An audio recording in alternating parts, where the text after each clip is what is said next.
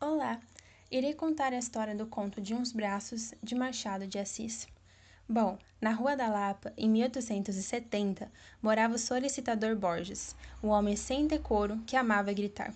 Casado com Dona Severina, uma bela dama de 27 anos, que estava constantemente com os braços nus. Ela é linda, né, gente?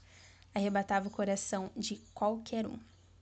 Bom, lá também residia um garoto chamado Inácio, na verdade um jovem, mas bem tímido, de apenas 15 anos, que trabalhava para Borges como uma espécie de faz tudo.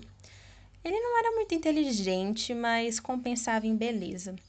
Inácio também nutria uma paixão secreta pelos braços de Dona Severina, mas não ousava encará-las por muito tempo sem ter coragem nem de olhar no rosto dela. Em uma determinada noite, Dona Severina se pôs a observar Inácio, reparando de maneira discreta que o mesmo lhe encarava e depois corava. Então ela pensou: será possível que ele esteja apaixonado por mim? Severina passou a observar mais o garoto e chegou à terrível conclusão que tinha um adolescente, ainda uma criança, loucamente apaixonado por ela. Comovida pela situação, Dona Severina decidiu manter segredo e acabar com essa paixão, o tratando tão severamente quanto o marido. Todavia, ninguém é de ferro, né, gente? Havia momentos em que sua determinação falhava, agindo como uma mãe e uma amiga. Já para Inácio, a vida estava péssima.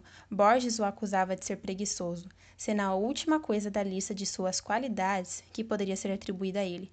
E ao mesmo tempo, a vontade de fugir era gigantesca. Sua única motivação para ficar naquela casa eram os três momentos do dia em que podia observar discretamente os braços de Dona Severina.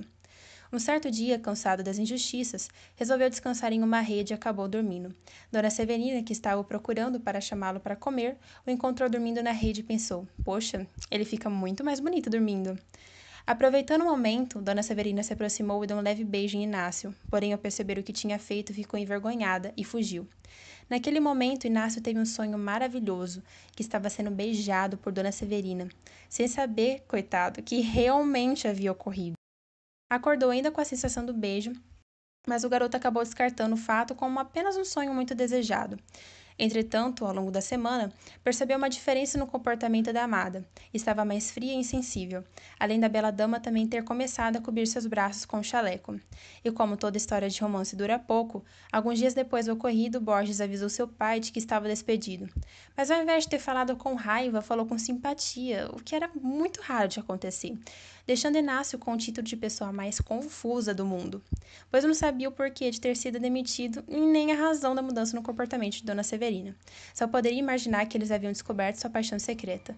Por fim, Inácio nunca encontrou um amor que o fizesse superar sua paixão por Severina.